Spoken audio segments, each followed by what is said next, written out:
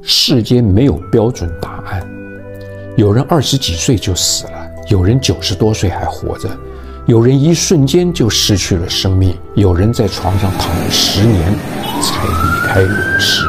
所有的条条框框都是假的，都是人为的，都是人赋予它的所谓的意义。你认，它就意义非凡；你不认，它就没有任何的意义。高学历在送外卖，没学历在当老板。漂亮的人四五十了还单身，丑的早就结婚生子。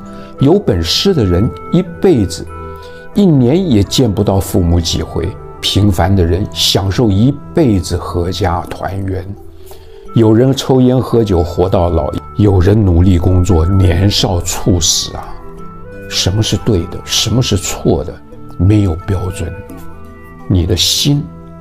就是标准的。我是后知后觉，愿你是个幸福的人。